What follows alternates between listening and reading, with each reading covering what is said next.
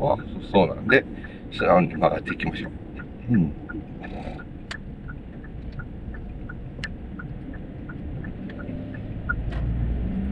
あ、そうだそうだそうだ、そこの紙見ましょう。これ巻いた時に曲がってますね。あの先がね、あの、かなり細いみたいなんで、えー、ちょっとこっちから、曲がるかな。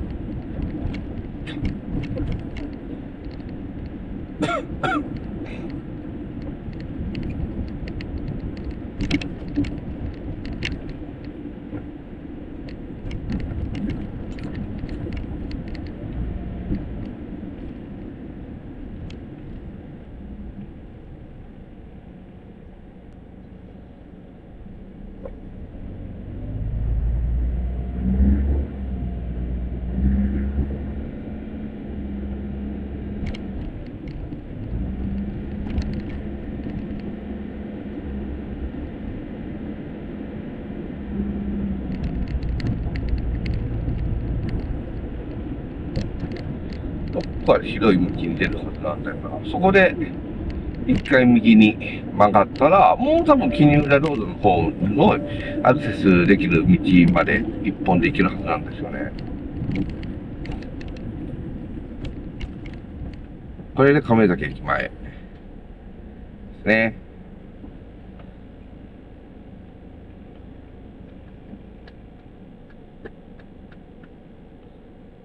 いや、ワンチャンこのまままっすぐ行くっていうのも手なんか。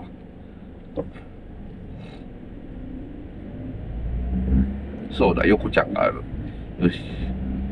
で、亀崎駅まで。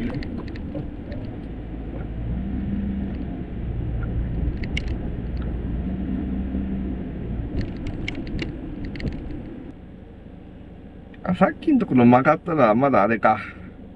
先にちょっと海側の方をずっと走るところがあるのか。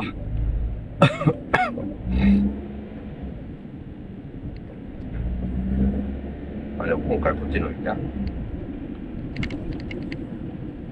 これで、そのまま、ストンといけるけど、これストンと行かずにこっち曲がった方がいいか。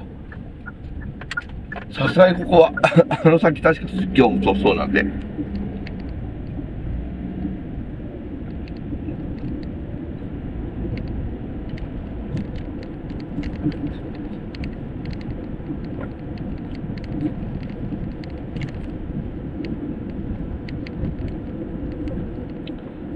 う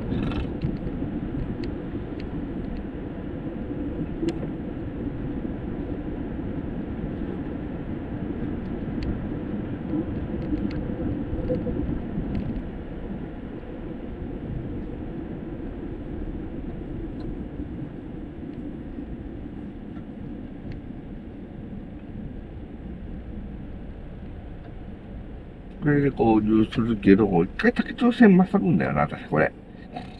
えー。で、この道がっとり行くと、確か、あれなんで、これ右折した方がいいのかな？そうだな、右折した方のが多分、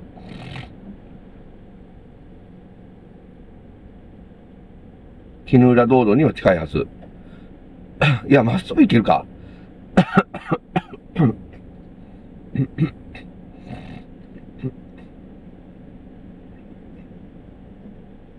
いや、右折しとこうか。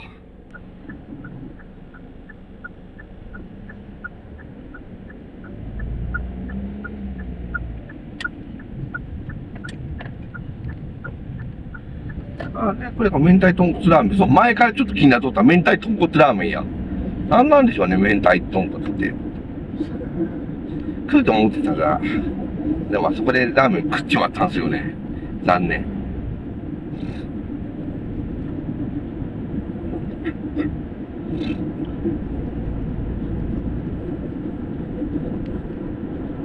ハンダの方にするには、これがミカドハンダいんやろ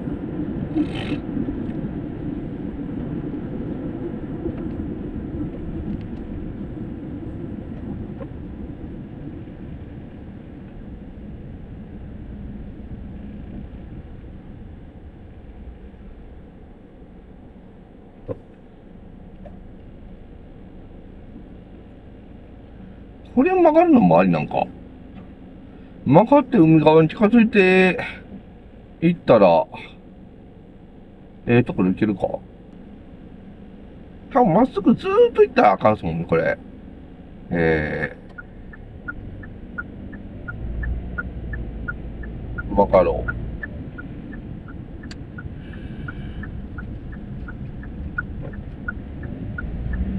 これでいいんちゃうかな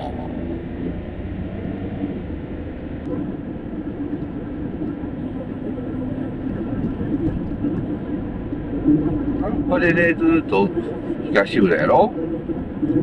海沿いをずっと行ってるんで、